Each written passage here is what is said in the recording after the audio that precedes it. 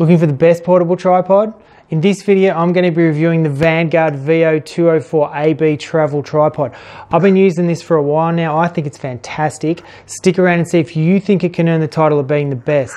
Make sure you watch to the end of the video where I'm going to take this baby outside and show you some real world examples of how you can use this super versatile portable tripod to get some wicked shots. Don't go away.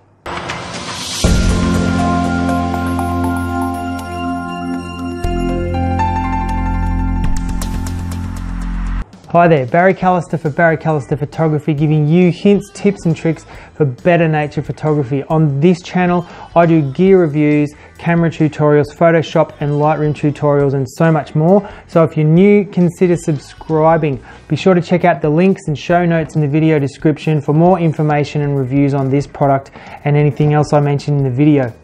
But you are here looking for a portable tripod. There are three questions you want to be asking yourself when shopping for your travel tripod or your portable tripod. Is it small? Is it light? And is it strong? You're going to be traveling with this thing, so you want it to pack away really small. You want it to be light so you can carry it long distances and you need it to be strong because you don't want it to break the first time you get it out to use it when you're out in the middle of the bush. This little guy here, the Vanguard Veo 204AB, ticks all three of those boxes for me. It's an awesome little tripod. This thing will pack away to just 395 millimeters in length or 15 and a half inches and just 95 millimeters or three and three quarter inches wide. Small enough to fit in a backpack your camera bag. It comes with this handy carry bag that you can put it in. This is built super tough. It's weatherproof to a certain degree and it has a handy little uh, adjustable strap there so you can throw it over your shoulder or over your back and carry it around it will extend to a height of 1350 millimeters or 53 inches, which is not super high, but it's definitely high enough. And it'll go down to as low as 395 mil or 15 and a half inches, which is really great to get down low with it. It weighs in at just 2.7 kilograms or just over six pounds. So seriously, you're not even going to get benefits from doing bicep curls with this sucker. It is so light. You can carry it around all day, no worries at all. Though it's light, is it strong? Yes, it definitely is. This is the aluminium version. You can get a carbon fiber version, which is more expensive, obviously, but lighter. This is awesome though, built super strong. Everything on this tripod is built really, really strong. And it will hold, it has a weight capacity of four kilograms I use it with my Nikon D5200 there and my 55 to 200 mm lens that you can see behind me. They come in at just over a kilo, so I've got heaps to spare. It'll handle your heavier cameras and lenses, no worries at all. This one has the ball head on it with the Arca Swiss style compatible quick release plate for getting your camera in and out super quick. It's got a nice handy little level up there so you can see when your tripod is on the level and it's got some handy little angle markings around the column here for precise rotations of the ball head. Really handy for your panoramas and stuff like that. The mechanism of the ball head itself locks in super tight. You don't have to turn this knob very far for, for it to lock in really solid. And of course, it'll flip right down so you can have your camera in portrait mode. Absolutely awesome. The clasps on the legs are very, very good quality. They lock off super tight. You're never gonna move those guys. And there's handy little rubber stoppers on the bottoms of the legs there as well. The legs themselves lock out to three different positions. You've got this one, here, and then there. So it can get down really, really low, which is really, really handy. The center column though is what really sold me on this tripod. It will flip up, it comes up here, there's a button under here you push in and it'll flip to 180 degrees, which is of course so you can pack it away really tiny and get it back in the bag and carry it around, but also you can use it with your camera in there flipped upside down so close to the ground. You can get some great low perspective shots with this. Great for macro photography. It's absolutely awesome. And that is what actually sold me on this tripod. Um, these are just over $130 on Amazon, so a really reasonable price for a tripod that's going to last you for a long time. I've had this for years. had absolutely no troubles with it. So a really great tripod.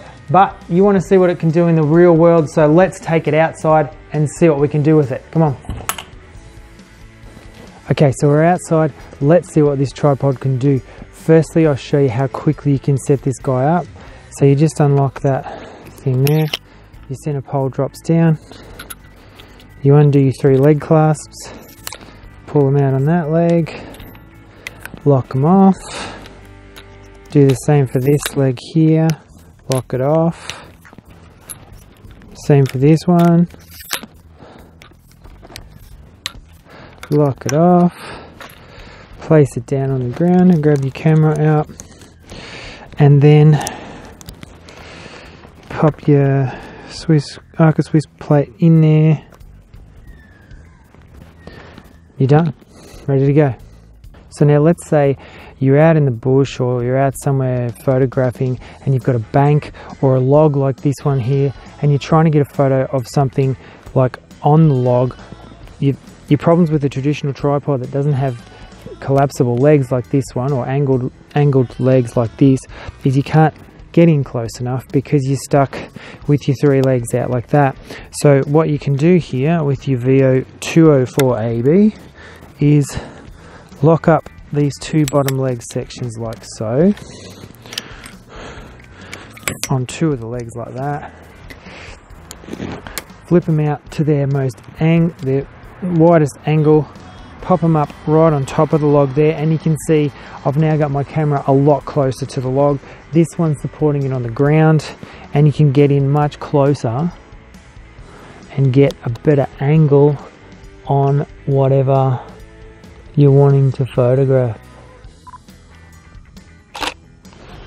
awesome okay so now here this is where this tripod really comes into its own let's say I'm trying to get a photo of this moss here on this root of this tree and I don't want to get down on the ground and lie down in the wet. Little bird joining me back there. Uh, what you can do here is extend your center pole up and you flip it down. Your camera, you lock that off. Your camera's hanging upside down. Spin it around so it's facing the right direction. and then you can just up your legs here just your two bottom sections of your legs will get your camera super close to the ground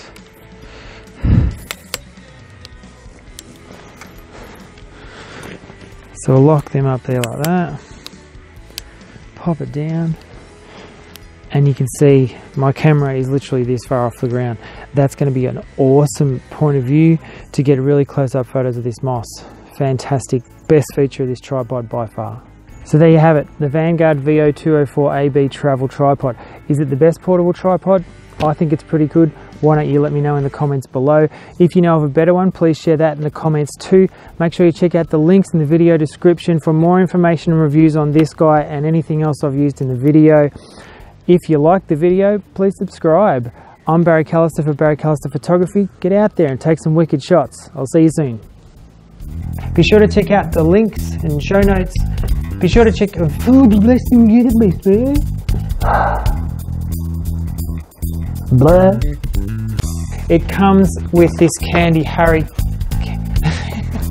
it comes with this. It comes with this handy carry case as well. candy Harry. Who's Candy Harry? I don't know. Vatata, Vatata, Vatata. For more information on this product and reviews, and any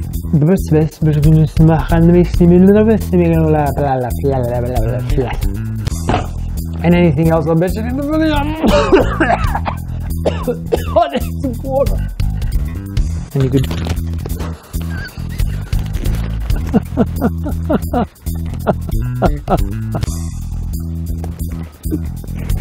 uh, uh, maybe not.